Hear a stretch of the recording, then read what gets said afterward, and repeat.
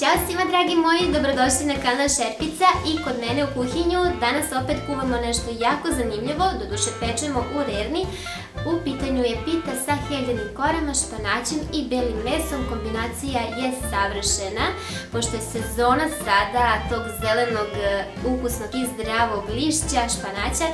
Obavezno probajte ovu pitu, a ako baš ne volite heljene kore, mada ukus je meni fantastičan, koristite obične kore za pitu, kupovne naravno, i možete naravno i da razlačite ako imate vremena, e, ali koristite debele kore zato što su heljine kore malo deblje, pa tako da će vam ovaj fil koji pravim u narednih par minuta koji ćete vidjeti e, biti sasvim e, dovoljan, znači neće biti previše. Ako u slučaju ste da koristite tanke kore, smanjite malu količinu fila s kojima se premazuju kore. Prvo je potrebno da isickamo jednu glavicu crnog luka, pošto sam ja imala jako veliku glavicu crnog luka, isekla sam je po pola.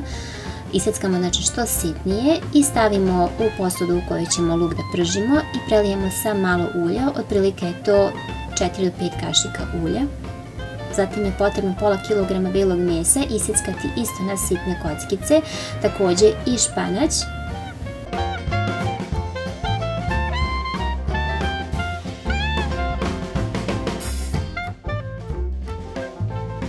Kada je luk dobio ovako zlatno žutu boju, dodajemo isjeckano meso i pola čaše vode. To malo krčkamo, zatim dodajemo španać.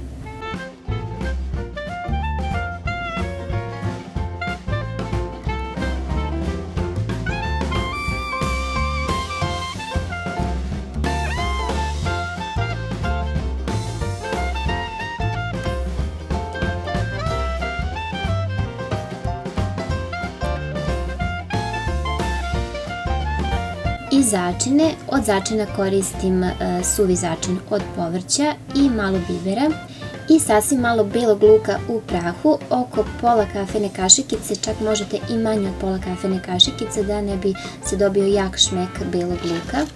Ovo sve krčkamo da voda ispari, e, čim osetite da je počelo meso da se prži, sklanjate sa šporeta. Dok se fil hladi, pravimo premaz, umutimo 4 jaja sa 3,5 decilitra jogurta.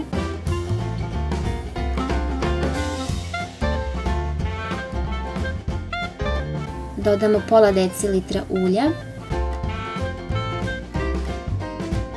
i jednu i po kafenu kašikicu soli. Zatim dodajemo 4 pune kašike brašna i jednu kesicu praška za pecivo.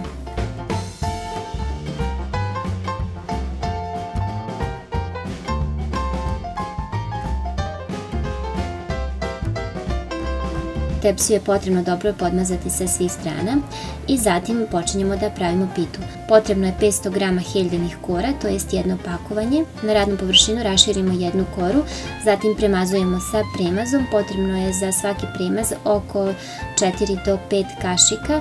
E, premažemo na sve strane i preko toga stavimo drugu koru.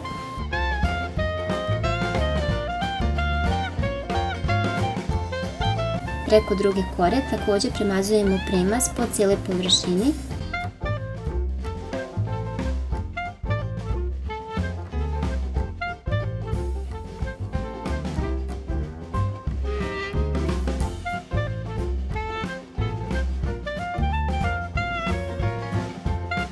i zatim stavljamo treću koru, na treću koru ide fil uz samu ivicu Gledajte da stavite dosta fila da pita bude e, punija i ukusnija. Zatim umotamo kao rolat i slažemo na tepsiju.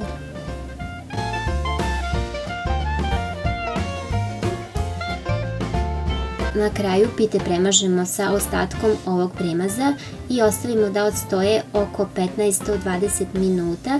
Redno treba da zagrejemo za to vreme na 220 stepeni i pečemo dok pita lepo ne porumene. Kada je pečena ostavimo da se malo prohladi, ne mora skroz ako volite da jedete toplu i zatim isečete i poslužite.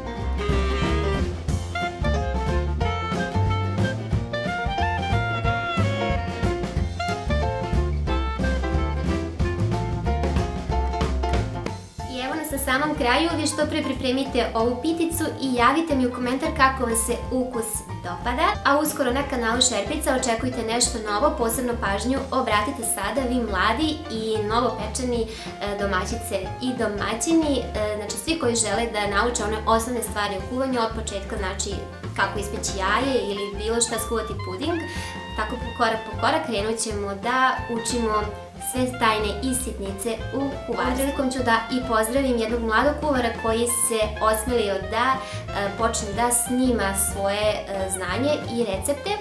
U pitanju je mladi e, kulinar. Link njegovog kanala ću da ostavim u opisu ispod ovog videa, pa posetite ga i vidite Naravno, oduševit ćete se koliko mladi dečak može da, još dečak, može da bude zaista dobar u kuvanju.